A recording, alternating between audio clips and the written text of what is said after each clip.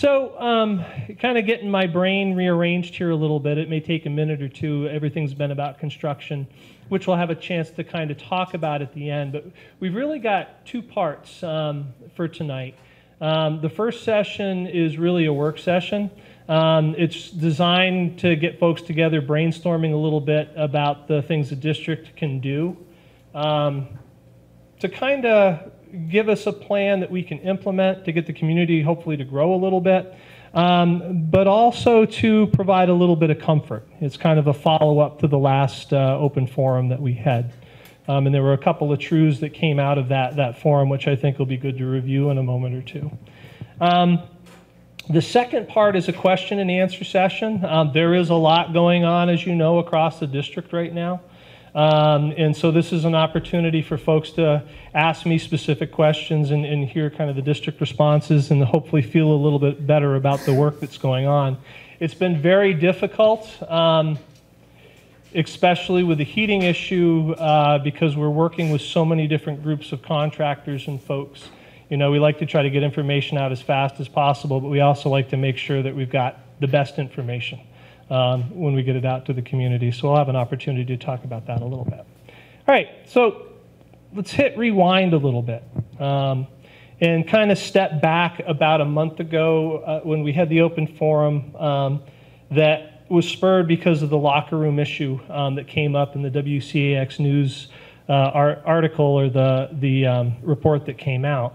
Um, and I think it's really important to try to set the idea with folks that these issues that we are dealing with are very complex.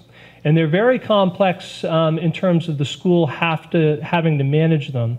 And I'll kind of try to see if I can explain this in a way that, that, that is understandable.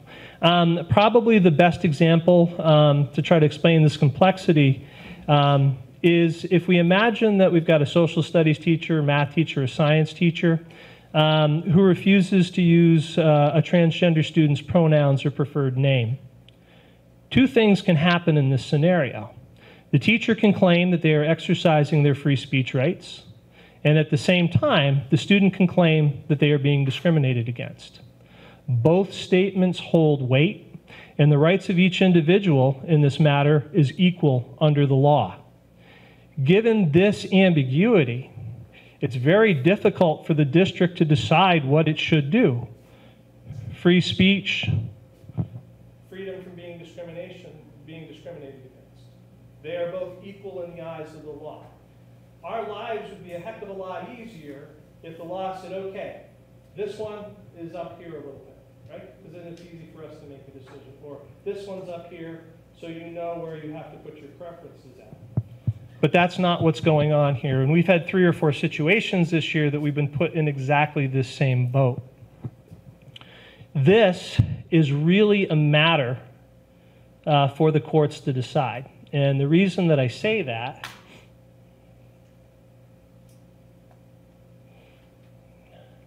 is because there's no clarity, right? They've got these laws there, um, they're in conflict with each other, and they have not provided us with any kind of clarity so that we can make better decisions. The information that they need to provide us is actually pretty simple, and it's this idea of when does free speech become less about exercising one's freedom and more about removing a person's right to be free from discrimination. Regardless of how long we have to wait to receive that answer, to receive that clarity, we're all here because we've got to find a way to work together for the greater good of our students. In Vermont, the state has provided guidelines that we have to follow, and those guidelines are untested by law.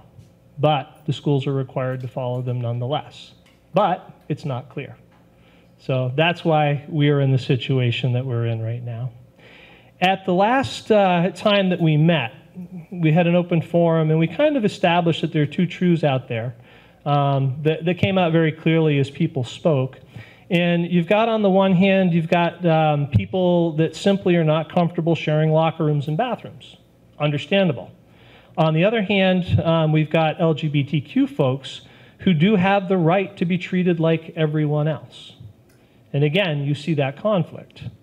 So, our goal tonight, hopefully, is to develop the foundation of a plan that will provide comfort for all without violating the conflicting laws that the district is required to uphold. And so that's why I've got you broken into work sessions, um, little work groups, little focus groups. And this work will not be easy because these are tough questions. Um, but my hope is, is that we're going to get some really good feedback, some really good ideas that we can kind of run with. Um, so we're going to be doing some brainstorming. You're going to be brainstorming at your tables. Um, and what we're really focused on um, is ways that we can honor both of those truths while trying to maximize everybody's comfort. And the things that we're going to talk a little bit about and that I'm going to try to elicit some ideas from you on um, is what can we do in terms of education and programming? What can we do in terms of structures? And what can we do in terms of addressing what I'm calling community tribalism? At the end of this discussion, um, what's going to happen is we'll go around, we're going to collect the papers, I'll collate all the information, um, and we'll put a plan together that's going to be run past the cabinet and is also going to be run past the legal team, right? Because, like I said, those laws are, are pretty explicit, but they conflict with each other. So, we're going to need their advice on what we should implement or what we can implement and what we shouldn't. And then I'll be good about communicating back out to the community where we're headed. Um, we've got you into groups by, by table. As I said a little bit earlier, we need one brave person who wants to be the recorder. Um, there are three topics that we're going to be brainstorming on. Therefore, you're going to probably need three sheets of paper. Um, and then, like I said at the end, I'm going to collect that information. So, first round here. This is ideas about education and programming. Recorders, what I want you to do. First, first step here. Please label your first sheet as education and programming. And then I'll give you some ideas about, uh, and maybe an example or two that, that might fit this to get you started on the brainstorming session. So, the, the basic question that folks are trying to answer trying to generate some ideas around is what can we do educationally to build a stronger unity amongst all our students within the school? We are a school district after all, and so our primary mission is education. So this is an important question. You know, what programs, what classes, what conferences, what trainings should we consider that might help ease the tensions that now exist? A perfect example, um, best one I could think of off the fly was uh, an opening day training for students on where to find private spaces in each building. Okay. So those are the kinds of things that we're looking for. And you got to talk with your group, you got to get some conversations going.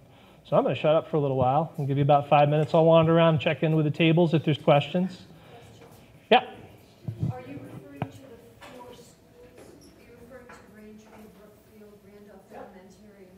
And, and it might be a little bit different if you're talking about an elementary, yeah, this is district-wide, but it could be a little different if it's elementary specific or it's high school specific. Yeah, it's a good point. And we can kind of focus on the next piece of our agenda here. Um, and I'll give you a warning. The third thing that I'm going to ask you to brainstorm about is going to be the hardest. So part of this is getting you worked up to the big stuff. So the next idea that I want you to work on in your groups is this idea of structures. Um, and structures are basically just anything that creates order within an organization. Um, lots of times they're physical in nature, um, right? Examples uh, of physical structures that might help uh, us make people feel a little bit more comfortable and, and move the district forward right? Private stalls and locker rooms, um, posters hung on the walls that show where private spaces can be found, right? Physical structures, things you can actually put your hands on. But structures, again, things that provide order to an organization, can also be a little bit more abstract. They're policies and protocols and procedures. And again, I'm throwing these examples out because they were what I could brainstorm on the fly very quickly. Um, doesn't mean that, that they need to be included. But as an example of a protocol, students who are uncomfortable using shared bathrooms and locker rooms will be magnanimous enough to seek out a private space to use. Right? So, does that make a little bit of sense in terms of structures? So, either on a separate sheet of paper or you can draw two lines. You're going to put the heading on there. This is educational structures. and do a little bit of brainstorming. Remember, they can be physical, they can be policies, they can be procedures.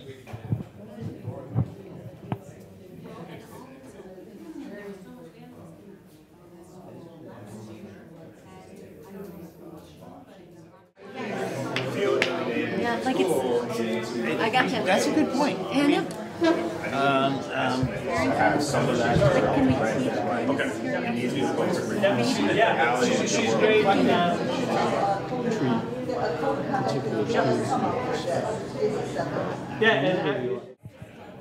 All right, there's some good conversations going on, which we need and we appreciate. The one of the most important things about tonight for everybody is exactly what is happening right now is people sitting down having conversations with one another right? And this is something that we're going to need to do a lot more of um, as we try to progress through the work that we've got to do. So take another couple of moments to kind of get settled in and then you've got the biggest challenge ahead of you with the next piece i'm going to ask you to brainstorm on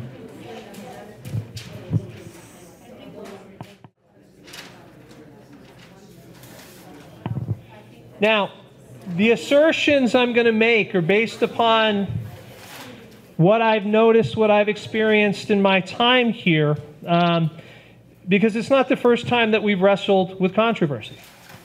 Uh, and so, what I want folks to try to grapple with a little bit, and again, this is incredibly difficult. Um, and it's a little bit outside the bailiwick of the of the schools to, to manage, but given where we're at and where we want to go, um, the only way we're going to get there is if we try to address these community issues a little bit, um, working together um, to affect that change. For me, the simple fact is that the root cause of a lot of the climate issues within the schools are primarily caused by what I'm calling tribalism. And so I want to give that a definition. Um, those are behaviors that stem from a strong loyalty to one's own tribe or social group. And that tribalism does exist within the community, and I want to be absolutely clear so nobody misses this point. That tribalism exists on both sides of the spectrum, right? Whether it be political, religious, or social. The problem is, is when you get those two sides that are very far apart, it's like acid and water, right? It's an explosive mixture. It needs to be diffused because otherwise it will destroy us all, which is a little bit of, of what we're experiencing right now. So, this is the toughest question I'm going to ask you to wrestle with tonight. How do we bring the community together while respecting individuals' beliefs? If we can't accomplish this, this district will not grow and it will not flourish. So, this is the most important question of the night. In this one, you know, I'm going to give a couple of examples. They're not meant to guide your thinking, just to give you some ideas that I was able to pull um, from some folks that I spoke with today. You know, one of the examples of how we bring the community together is defining a common mission that all sides agree to pursue with the understanding that that means everyone is going to give up a little bit of what they want for the greater good. Not one side is giving up some of what they want, both sides have to give up a little bit. That's what collaboration is all about. Coming together more often with trained facilitators to help the community break down the silos that exist. And the most important one of all, um, taken directly from the literature, challenging and rejecting community leaders who may be throwing fuel on the fire instead of seeking collaboration. So, those are the examples that I was able to come up with in terms of brainstorming. So, this is a, a tough conversation, so we'll, we'll give it a bit more time. But again, how can we affect change in our community to get people working closer together so that it's not spilling over into our schools?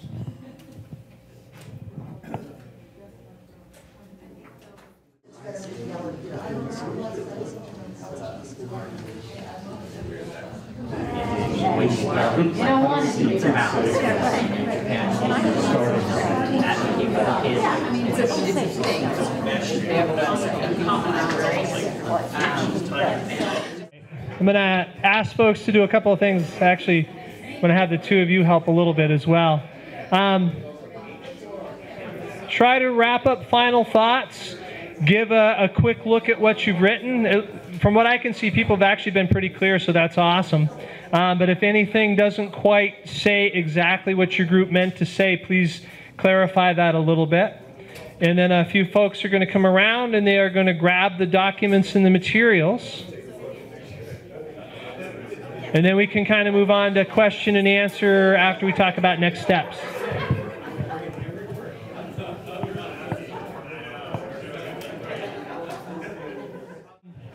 And people were actually asking some good questions about the, you know, getting the students involved in a similar process, which I think is very important. But we're kind of we're kind of in an odd place within the district right now and kind of responding to everything that's happened in the last month or two. We've had a lot of a lot of harm that has happened um, to the staff, uh, to the students through the voicemails, through the emails. Um, and so Heather Lawler has been instrumental in pulling folks together and creating affinity groups um, for folks to have those discussions about where they're at, what, what they're feeling, um, what they need to feel comfortable kind of moving forward.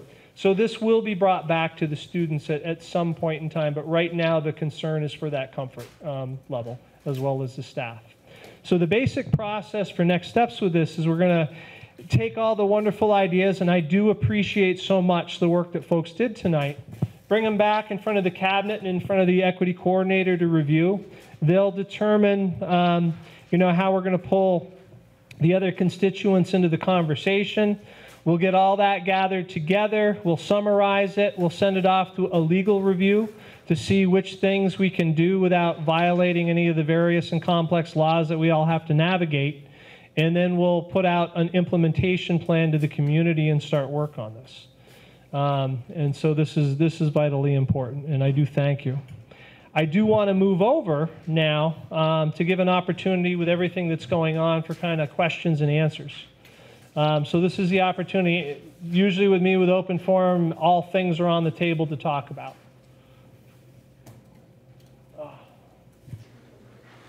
So somebody's got to be brave to go first. Yeah. Uh, There was talk about renovations in the high school locker rooms. Will this also carry down to the middle school locker rooms as well? Yeah, so the, the plan actually started on the 27th of September, um, having the discussions, getting facilities kind of coordinated um, to get the contractors in to do the work. Um, The problem is, we didn't know what the cost was going to be. And it takes a while right now, post-COVID, to get contractors that are so busy to, to kind of show up. Um, It ended up being under uh, a $40,000 repair, so we didn't have to go out to bid on it. Um, It's 34,000 right now, and that is for all four locker rooms. Yeah, it's a good question. Um, Hopefully that work is starting in early December right now. It's a good question. Other questions? I think I'm building on that concept of, of changing the locker rooms. We thought that if you involved the community in that rebuild, um, maybe under with a contractor supervision, that could bring the two groups together for the good of, of what everybody wants. Kids Might, might be able to get you together to help us rebuild the heat system. But I know. That's an idea on that one. no, um, it's, it's not a bad idea. Um, This is, we're just trying to fast track it. We're trying to fast track it in slow, in, in a slow time right now. It's, it- like I said, it's hard to get the contractors out. So I heard from one person, and I don't want to put all whole lot of stack in it, but that while the heat is out and the school is closed, that there's not going to be any kind of distance learning kinds of scenarios, and it was because of somebody at the state level that said we can't do that, and that seems to me, somebody ought to be on the stick on that. Yeah, so I, um, actually, and I can try to give you some potential good news tonight. Um, so remind me not to forget about that. So, um, one of the first things that, because it was the most logical when this all happened, it was like, oh, you know, we just got done, you know, the teachers did an exceptional job pulling together, getting the kids in the remote during COVID. Um, we still are using most of the same software, you know, every kid's got a Chromebook, this should be an easy thing to do. Uh, The problem was, as I understand it, because I did reach out to the Secretary of Education, give him a lot of credit, he got right back to us, um, was that the provision to allow for remote session was a legislative act that happened in response to the COVID emergency. So when the uh, state of emergency was concluded, that provision went away. And so it is not acceptable for us to go to remote session. It will not count as days towards learning. And that was when we first started, um, way back uh, March of 2019 or whenever it was. Um, That was kind of the, the rule of the land then too. They wanted us to get all the kids and all the, the teachers out of the schools as quickly as possible. But those days didn't really count towards learning, um, even though they wanted us to try to keep the kids You can't get Larry to get on Jay's case in the Department, the health, It's my understanding, as limited as it is, so don't take it as gospel, but my understanding um, with, with what came back to me was it would take a legislative action. The, the law would have to change to allow this like in an emergency situation for this to, you know, be viable. So it is something that, you know, you're going to hear probably from the superintendents. And it's probably going to be a bigger issue um, because we've got the PCB testing. And so you're going to get um, schools that are going to get their results back and the next day have to shut down. Right? And so it- it's it's worthy of- of coming up under the legislative session this time. So So talk to Jay. yeah, so yeah, because he's, he's usually on the edge. Um, But the, the good news, and again, I don't, I don't want to get hopes up um, too much, but there is uh, some real potential here. What's really miserable about the situation that we find ourselves in with the heat is that currently the repair time, it's just long enough that we got to do something about it, about getting kids learning. It's short enough that what we have to do to move all the students around and move all the furniture around between, you know, three different locations, um, it almost doesn't make it worthwhile, right? You know, it'd be one thing if the heat was going to be down for the remainder of the year and we had to use the new locations. Um, We have been scouring literally the planet um, for the parts that we need. Um, There is a group out of Virgins, a a contracting group, who believes that they have what we need, not in, in a higher grade of material than we need, which is fine, we'll pay the extra money for it. But it is possible that we could get the students back on December 5th. Everything repaired and up. It's not guaranteed, it could change, but that's the indication that we have today. If that is the case, here is the tough part, is that it's gonna take a week or two to move everything and everybody around to all these other locations. Um, it means an extra week out of school. Um, But, But that, that's much better than what I was hearing that suggested two months without school. well, two, two, two months, um, in different locations, but those moves, they are not ideal. It's splitting the kids up amongst two or three different locations. Not great for safety. Some of the locations are very far away, like Chelsea Middle School. Uh, but it's all we've got in this area to use, so, um, but they also do not have the equipment or the desks or the chairs, so we have that huge logistical nightmare in a short amount of time. Does to try to manage VTC as well. have any empty rooms? I mean, they were They, they do, so Little Red Schoolhouse would would take a grade or two. Um, They have open classroom spaces, uh, actually, they're not classroom spaces, they're just open spaces. And again, we have to move all our equipment there um, to be able to use those spaces. furniture and dividers. Uh, Yeah, Um, so like, with, if things like move to different locations, I don't know if you're able to answer this, but like, how would classes work where, because I know a lot of classes are mixed with grade levels, so like if juniors and seniors are at VTC, but tenth graders are like in Chelsea, I know like, the grand majority of my classes I have with at least a few tenth graders, even ninth graders. yeah. Like, how would that be? So, so while we can't do remote session for the full day, some things can be done via remote session. So if you're, the teacher that you normally have your class with is at a different location, that's a time that you might connect remotely. And because you're at school doing it, that kind of covers us under the, under the rules of the rules. So good question. Yeah. Light- In light of the um, immediate um, needs regarding the physical infrastructure of the school, the renovation of... We need new buildings. You saw Go ahead, sorry, sorry. Can- Um, Could could you give us an honest sense of your view on whether that's, you know, in our future timeframe? Yeah, it's, uh, we actually, we talked about it, we had 30 people at the meeting, it was all thumbs up, but of course, people don't know what the bill might be, right? Because it would have to go out to bid.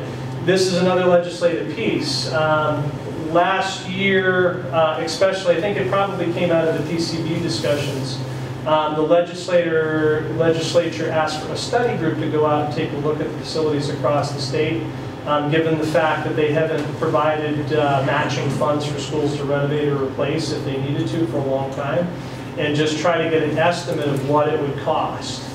Um, So the hope is, is that that study comes back this year, the legislator, move- legislature moves on it, puts some money aside, and if it is, we're top of the list, right? We were in the paper because we've got the building that is um, the closest to the end of its useful life as any other building out there. Now, we do and have maintained it as best we can, um, but these water leaks and things, I mean, it's three times a year, we get a main that bursts inside a wall and shuts us down for a couple days, and the cost of, of repairing that, and we've got this piece with the boiler. I mean, these are, these are major systems that are, are literally failing. And if the, the corrosion, the internal kind of corroding away of the pipes that happen in that main line, it's probably also been happening in all the lines through all of the buildings, right? So it is, I mean, the- there's two, I don't remember the years that they were built, um, but there was the main building that was probably built about 1950, and then the add-on, I believe, which was the middle school area and middle school um, field house. I think that was in like 60-something. I think Joe told me 68. Yeah. So again, the- the- these are old facilities. Um, They they do need some renovations um, or replacement. You know, the the the pipe dream um, that I talked about, um, which is possible, um, is that we build the new school, RTCC, um, separate the buildings from each other, um, but we build a new complex out on the athletic fields. And then that way we can continue to use the current building while that building, while the new construction is happening. We move the kids over, we demolish the old building, and then we build the athletic fields out front. And if we're gonna be spending 150 or 200 million, you know, why not spend an extra million and put in a turf field with lights and become the, because we're at the center of the state, um, set it up and charge folks to use us for all their tournaments, because we're the most convenient place for everybody in the state. We get a name for that with our athletic teams. So there's, there's a lot of Yeah, ideas. Barry up, Tori? Yeah, so, so there, there- there, there is a vision. Um, I am not going to invest too much time in it, um, given everything else that's going on right now, until we find out what the legislature decides this year.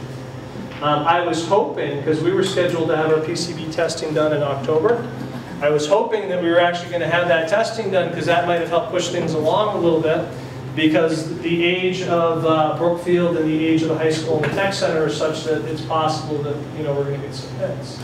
And so that would put some impetus to to really kind of force this issue and and get some changes to happen.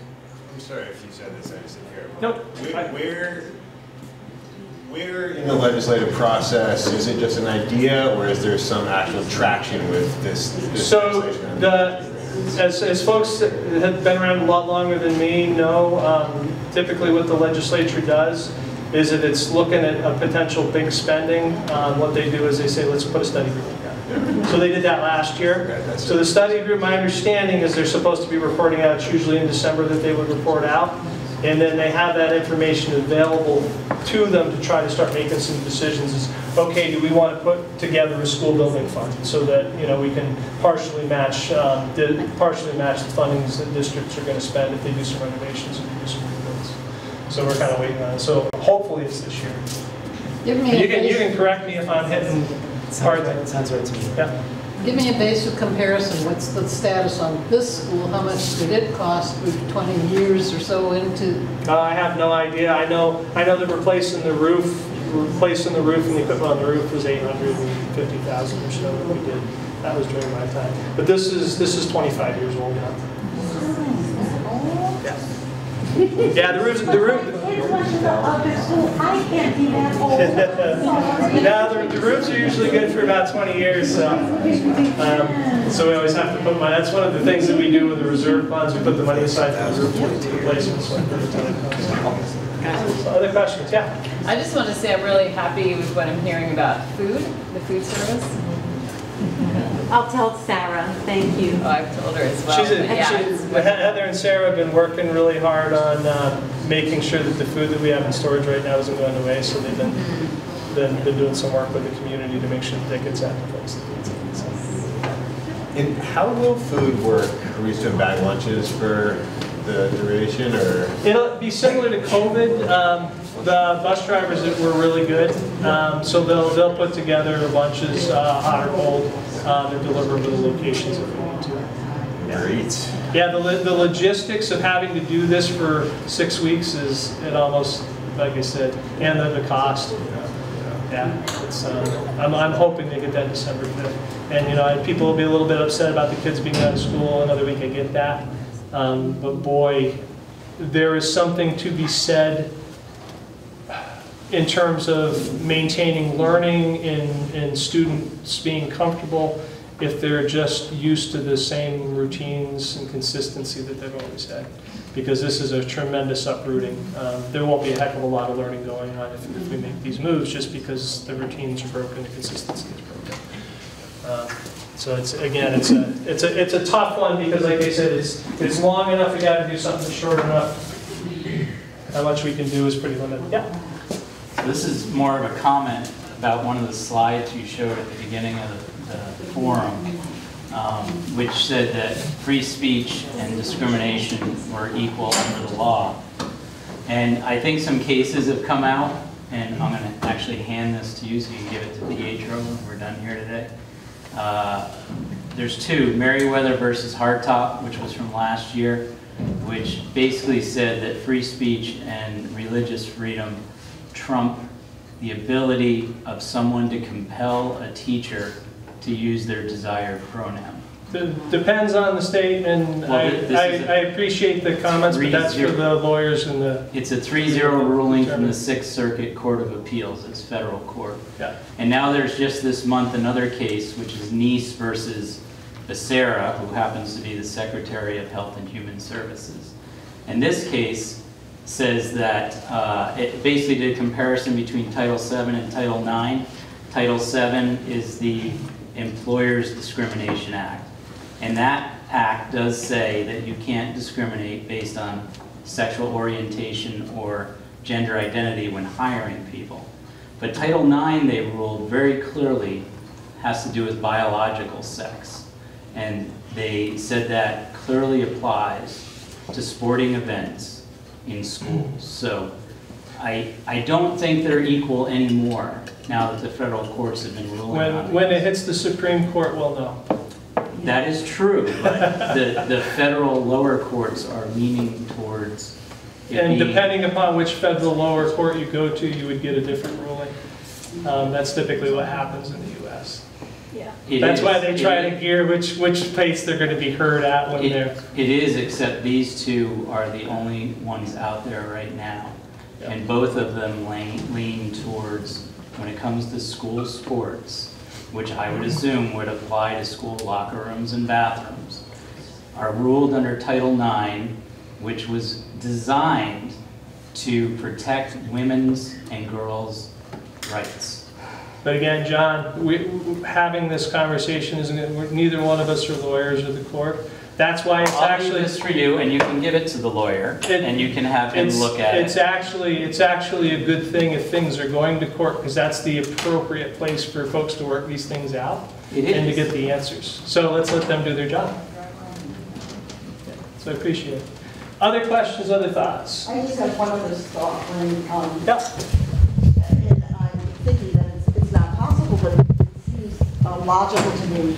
You have a school here, um, the elementary school would go on as you, for, if the heating system is failed for longer than you like, Yep. um, the elementary would go the day, um, time, and the high school kids would come in at two thirty and go to eight or nine and get their day in and, um, We and had- not be so disrupted. We had talked about that. Um, One of the big issues that kind of came up is that a lot of our teachers have young students and they won't be able to have daycare to be able to attend to those, those duties.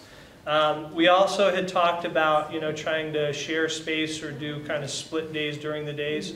You know, as long as the kids are here a half a day, it counts as a full with the AOE. But the problem is, you know, we also want to make sure the kids are performing, so we lose out on the learning piece.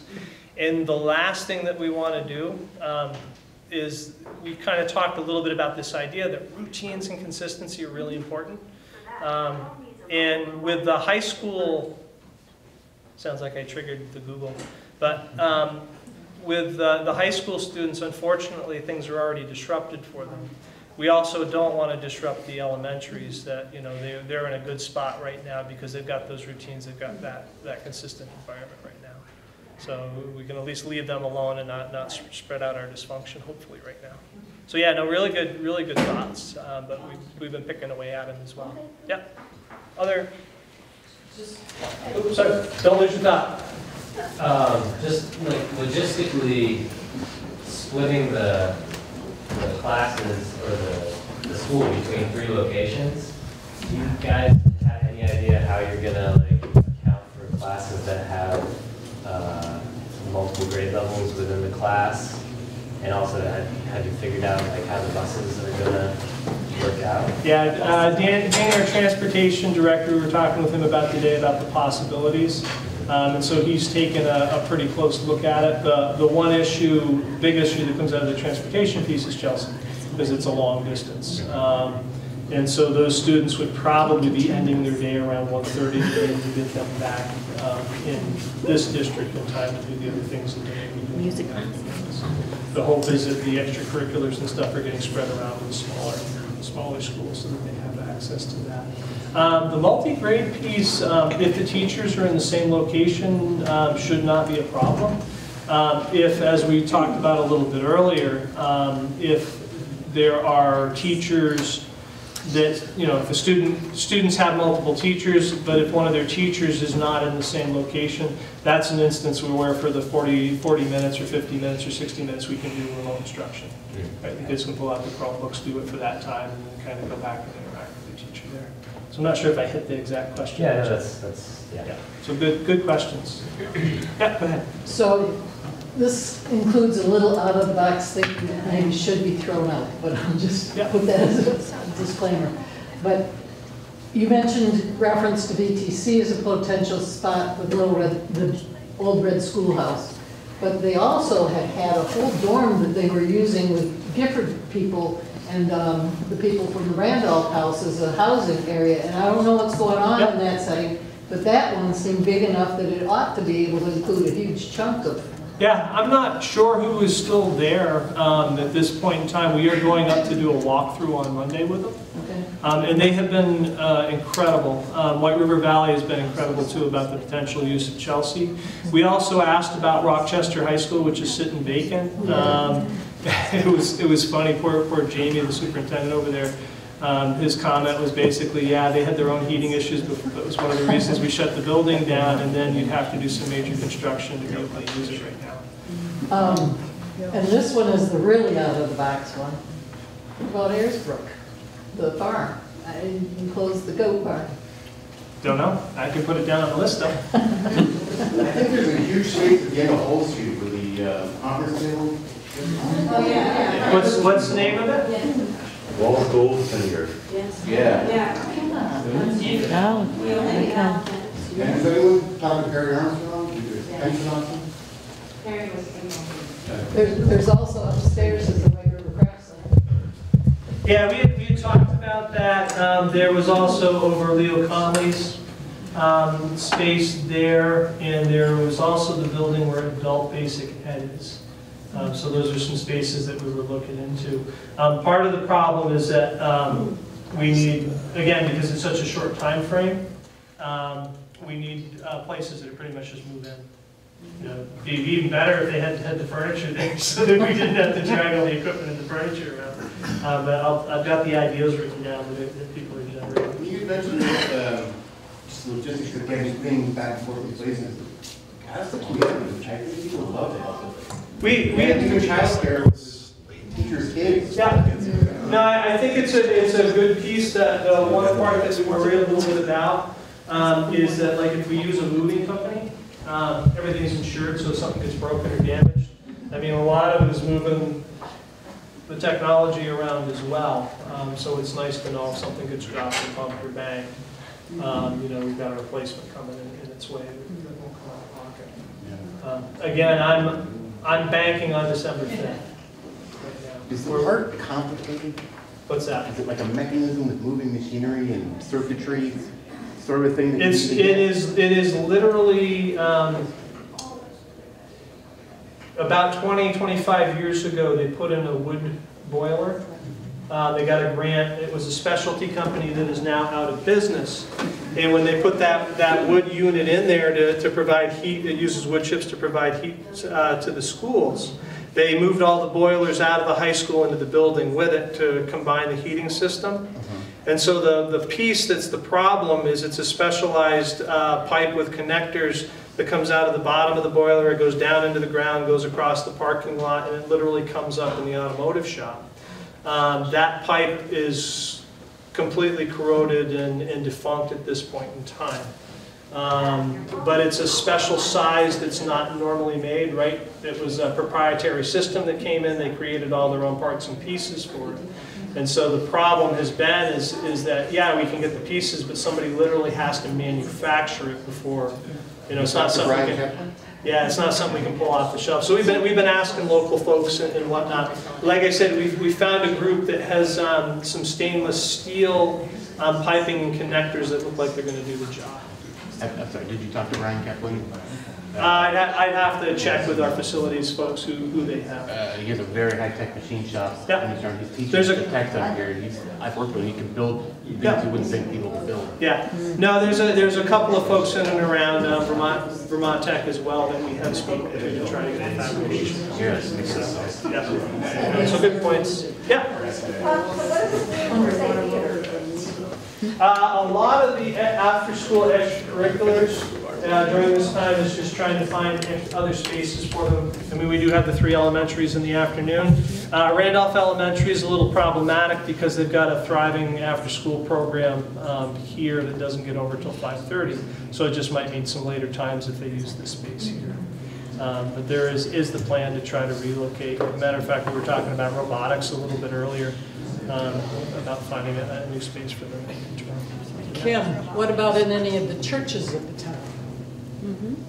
Yeah, uh, we, we had an inquiry, um, so Yep. we've given information, but again, that's, you know, that would, Yeah, the fire department's, you know, offering the space, it looks like wrestling's gonna be happening over at the fire department, and, yeah, so they, um, I gotta give credit to Nick, our, our athletic director, um, he's been connecting with, uh, the local schools, um, the gym at Bethel, um, is primarily unused, and so they're allowing us to use that, to hopefully get the basketball season up and running, and, yeah, people have been really good.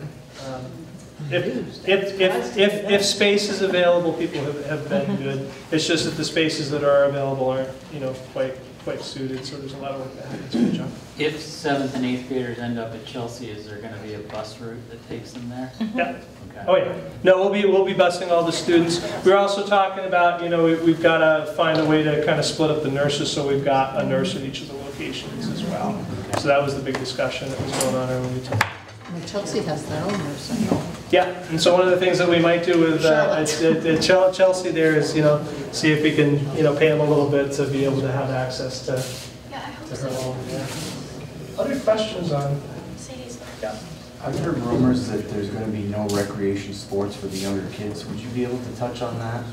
Uh, The biggest problem with the rec sports, um, it will happen, um, but it may be problematic, especially now, was that there's a requirement to have custodial staff there, and we haven't had custodial staff. We've been having a very hard time retaining them. Um, We did try to seek out uh, to see if we could, uh, you know, contract out for these folks. There's a couple of contracting outfits out there. It would violate the agreement with the union to be able to do that.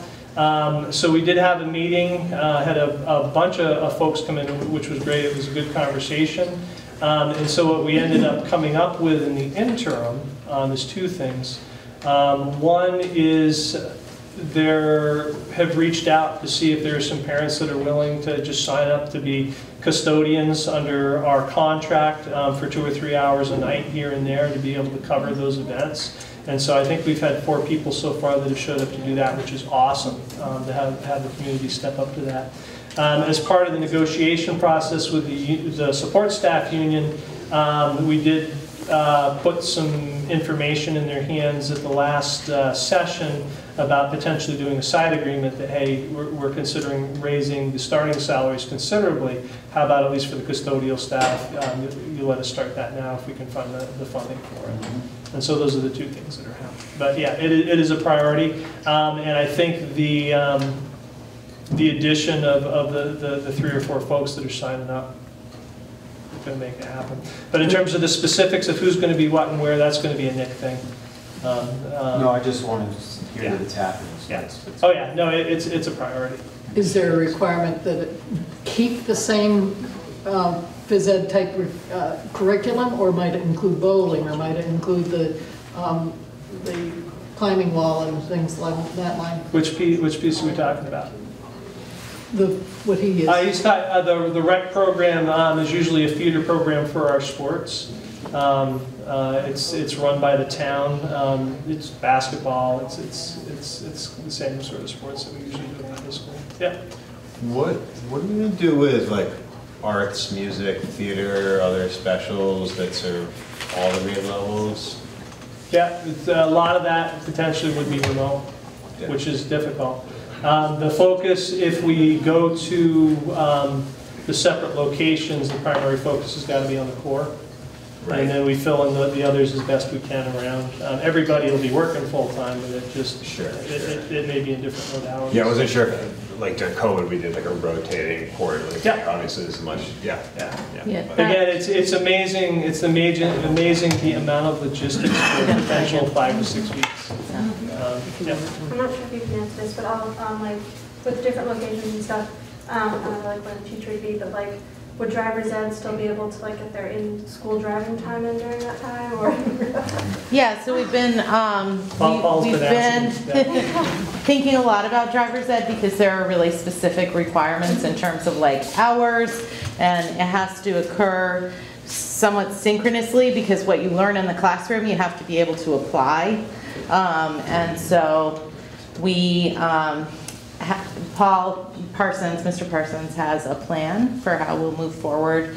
Um, and you can apply to the state for a waiver if there's an exception in order to like extend your timeline. So I think that's part of what he's been talking about too. Yeah, it sounded like that was Um, was going back and forth in the emails, was getting the waiver in place. Yeah, and, and related to arts and other sort of more unique classes where, where teachers may have a seven through 12 curriculum, we're meeting with some of those people um, to see if it might make sense to do a shorter period of time with a grade level on a location and more of a rotation or remote um, options. So these things are on the table, and as we solidify the places where students will be, um, I think the plans will, will fall into place. And again, everybody more. cross your fingers for December 5th. Yes. That's, Yeah. that- that's the big piece. Have you Um, had a question? There was something else. Maybe I'll just talk to Or you we about can, it, yeah, perfect. Yeah, there was something else I want, uh, legislatively, since we get, we got you here, we can bend, bend some ears. Um, Driver's ed. There is no driver's ed prep program in the state of Vermont. Um, The last. You mean a program that teaches the teachers how to, how to do it? So there, there is a shortage, incredible shortage. Um, We we lucked out when we got Paul, we actually paid to send him over to Keene, uh, New Hampshire to get his uh, credentials. Um, And then he he took a lot of it on himself to also work with the department head, because you get the teaching credentials there to be able to teach the class, then you got to work with um, the Department of Transportation, excuse me, to get the driving credentials. Um, We really need a program here. Um, dri- Driver's ed, especially in Vermont, um, when we've got 40 to 50% poverty in this district, the kids can't afford to spend 7,800 bucks to to go and take a course in the driving piece. So it's just finding a focus, and I'm happy to come in and and talk with folks if it helps about, you know, making sure that they at least get a training program in the state um, to to help these folks. Because uh, we're- we're all going to be hurting pretty soon if if we don't. Yeah, if it looks like there's a legislative solution to that, you know, let's con, let's talk about that. I'd Yeah, happy to I mean, keep putting me in the spot, they're just, they're generating really good ideas as we're, we're, we're talking, so. um, Yeah, any, any other? Nobody's trapped here, by the way, I usually just hang out until the questions peter out. For the kids that are in the tech center, like my brother's a senior, so he probably has at least one or two classes that he would have to take at Randolph. How are you guys gonna coordinate that? Is it the, is it the math classes, is it the, It'll probably be math or English. so the math and the English are gonna actually get pushed into the programs. So he'll be able to take it that way, and RTCC um, is a different animal right now. Because of the size of the building, um, we were able to scour across the country. We've got uh, propane heating systems that, that if you drive by, you'll see them kind of around the outside of the building. We've literally kind of drilled holes in the windows and the walls to bring the heat in there. You at RTCC will be back in session on um, Monday following vacation. Um, You'll have some activities that are going on. I think there's a couple of field trips planned and some other activities for, yeah, for next week, so, yeah, you're, you're, you're on track. Uh, But no, uh, it's a very good question. Those courses will be pushed um, into the, the, the regular program. The English teacher will literally come into, you know, the automotive program and and teach the English to the students and vice versa. So, yeah, good question. So I think there was one more. I had a question. Yeah. Um, I, so I work in healthcare, I'm always thinking about the workforce shortage. Has that impacted the district? Are you guys thinking about that, or we've been okay as far as teachers? It sounds like maintenance staff's been an issue. Uh, ma- Maintenance staff has, has been an issue, um, paraprofessionals, um, less, less so. Um, A lot of it was, was COVID-related at the time, um, because, you know, you had the, the staff are coming in, they're working in close contacts in a school with kids, especially if you're a paraprofessional, usually you're one-to-one. So we had a lot of turnover, but, you know, with some effort, we've been able to replace most, but not all. Um, We do have to get our starting salaries up. That's a, a big focus as, as part of the negotiation sessions that are happening right now to help that out. Um, Teacher-wise, uh, again, we've done, we've done fairly well. Um, A lot of it is, is special ed. Substitute teachers are, no we've had districts um, that tried, you know, even doubling their, their substitute pay, and they still, they don't get more than anything, they just know. Again, um, I think, I don't know why now, but I think at least during COVID, it was understandable. People didn't want to come in and potentially make themselves at risk work to get a close environment. Um, But yeah, so the the substitutes is a huge across the state. Any others? As we kind of, sounds sounds like we're winding down. I appreciate the turnout, I appreciate the work, I heard some really good conversations. Um, And so this will continue. Um, I will be meeting with the community in forums at least monthly, it's typically the third Thursday of every month. But if things come up, um, we'll meet more frequently. Um, So I do appreciate it. Be safe out there, there was a little snow falling, I don't think it was much, but it is cold. Thank you. Thank you Thank you for joining. So I don't know